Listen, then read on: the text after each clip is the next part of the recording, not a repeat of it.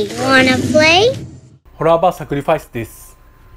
今回紹介する作品は、こちら。デッドウォーター。この作品は2018年の日本映画です。まだまだ新しい2018年の作品なんで、もう皆さんご存知ではないほどの無名な映画。始まりのあらすじを紹介すると、いらっしゃいませ。ある日 OL のリノは同僚5人で海辺の町に旅行に出かけた。今夜の宿は先輩 OL の元同僚が経営する旅館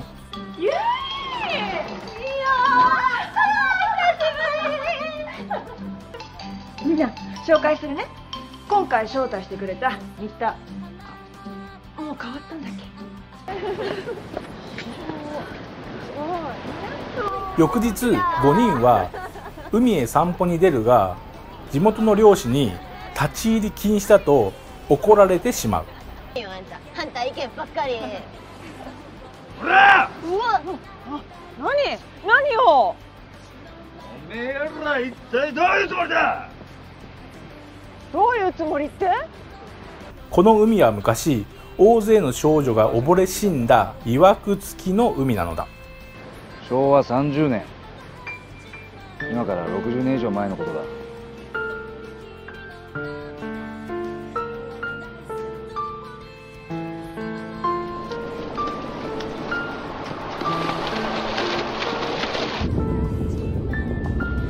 この海岸で水泳の授業をしていた女子中学生が溺れ死んだんだ。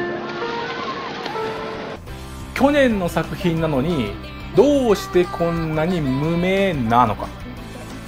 多分ね出演者全員が無名。一人でも有名な俳優さんとかがいればこうテレビとか情報番組とかで宣伝もできるんですけどまあみんな無名なんでその辺はなかったようです。あと出演者の顔レベルが全員普通。もうとにかく普通。主人公の女の人もちっとも可愛くなくて美人もイケメンも出てきません、まあ、逆に有名俳優とかアイドルとか、うん、出ないことによってちょっとねリアリティは出るんでしょうけど普通レベルの人がお芝居をしてるのでやっぱりね演技も下手くそ。セリフ回しも下手くそ。あと演出も下手くそで例えば2人目の殺され方がもう怖くもなんともなくうんもうギャグでしかない。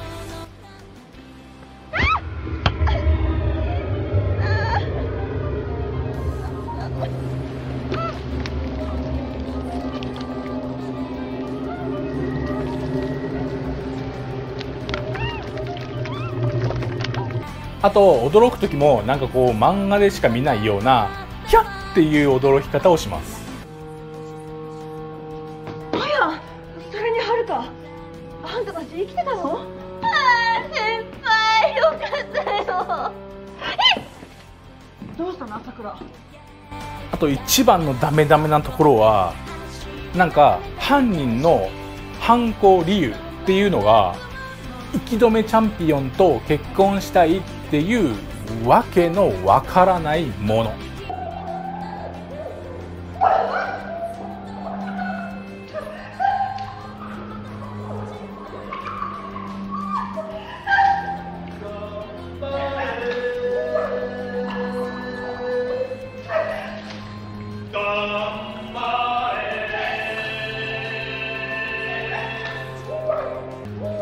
愛させてくれよ。お願いだよ。愛させてくれお願いだよ。結果これはホラー風なバカ映画でした。78分の作品でもうツッコミどころ満載なんで、まあ、暇な人は見てみるのはいかがでしょうか。